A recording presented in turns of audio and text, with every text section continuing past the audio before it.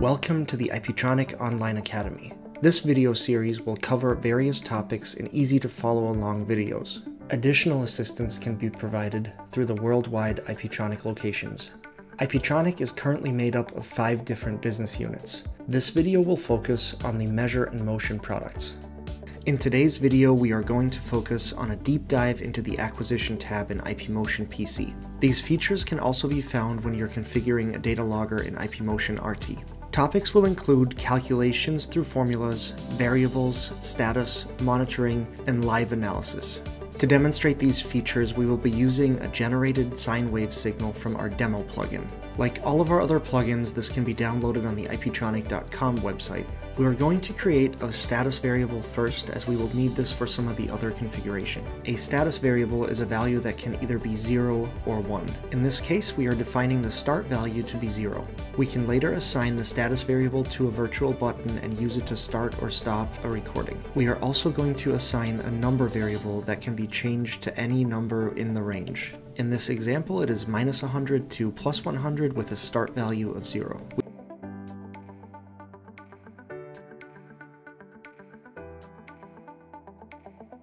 We are now going to create a formula based on the number variable that we just assigned. We are going to create a live math channel that adds whatever the number variable is assigned to to the current value of the sine wave that's being generated. Select the channel that you would like to base the calculation on on the left side, choose your mathematical operator, and then add either a number or a second channel for the calculation. There is a wide variety of different operations that you can choose from. If the operations are more complex or require multiple steps, there are typically instructions available towards the bottom of the window.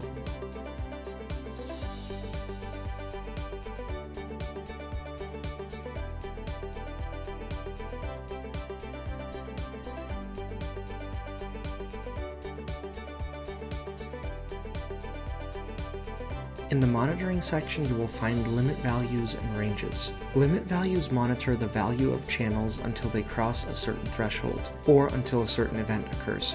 This could be a sensor value, a GPS location, a CAN message, or anything else that is available in your setup. For this example, we are going to create a pop-up window when our calculated channel exceeds the value of 15. The value will also change color when viewed in our View tab. Note that there are multiple possible actions that can be configured based on the limit value. Pop-up windows can be completely customized, scripts can be run, or an I.O. can be used to control an external system. Ranges can be used to monitor different sections of the same signal. A typical example would be for a thermal channel. Green is good, orange is caution, and red is too hot. We will define the upper and lower limits for each of these sections for our sine wave in the configuration screen. Just like in the individual limit value, different actions can be configured. For this example, we're just going to leave it at changing color. The color changes will apply to all the supported visual elements in the view screen. They will also show up as straight lines in a YT chart.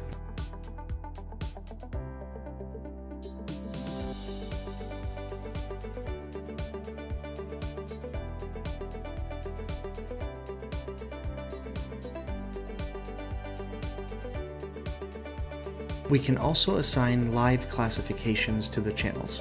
There are multiple options, but we will use sample count and time at level for this example. This could be used to find out what level of RPM the vehicle is throughout the test and how much time it spends there. We will now assign our sine wave to the classification.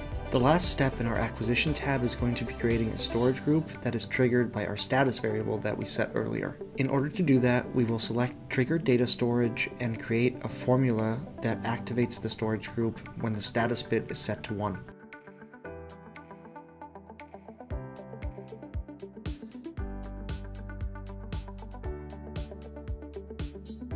We can then assign that status to a virtual button and start our recording by pressing that button. When everything is assigned, this is what it looks like. We have our YT chart with the limit values and ranges clearly visible as horizontal lines. The tachograph element clearly shows the ranges with the colors that we set previously. The range colors are also reflected in the alphanumeric display element at the top right. We can use the virtual trigger button to flip our status bit from 0 to 1, which will also result in the recording to start.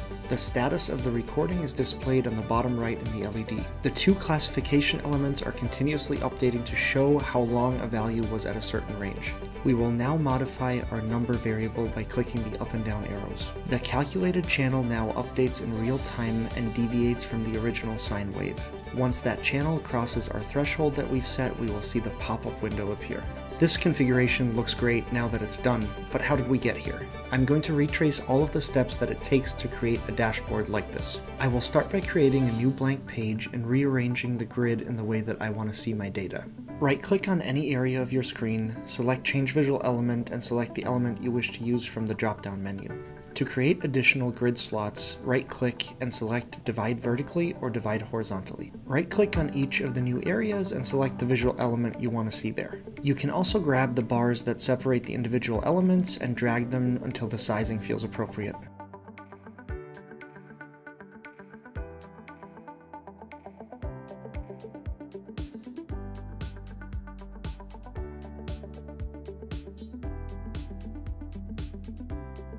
Once the visual element is selected for an area, you can drop as many channels there as you want. You can see that once the channels are dropped, the ranges and limit values will automatically be visible.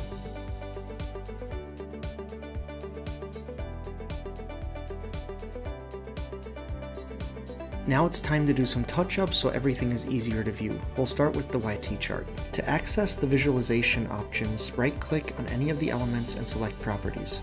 We're going to define a fixed range and joint axes for the YT chart. We will also change the color and the thickness of the lines of the channels that are being displayed.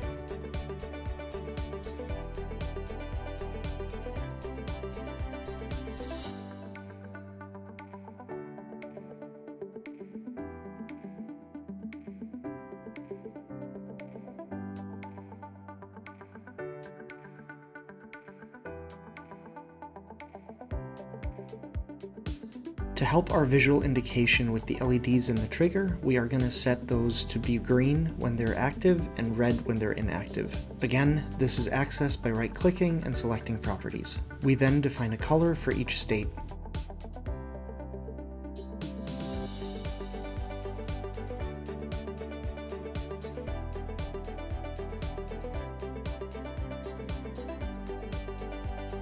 If we click display now, the demo plugin will generate the sine wave as we saw on the previous screen. At this point I realized that I had forgotten to assign the classifications to their respective display elements. Luckily the view screen can be reconfigured even while the measurement is running. So I rearranged the grid and made space for the classification charts at the bottom of the screen. If at any time you realize that you've forgotten something or that you want to change your layout or add a page, feel free to do so even if the measurement is currently active.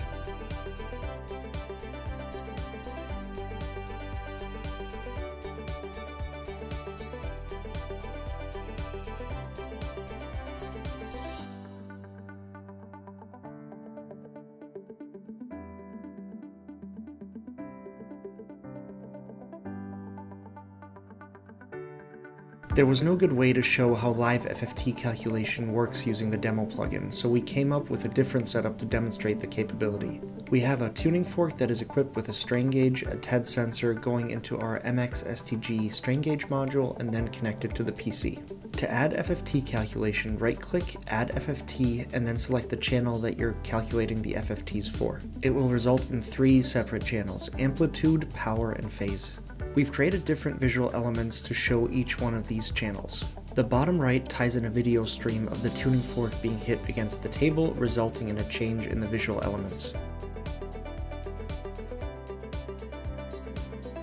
We hope that this tutorial has been helpful. If you have any further questions, please reach out to our info at IPETRONIK email address or your local IPETRONIK branch office.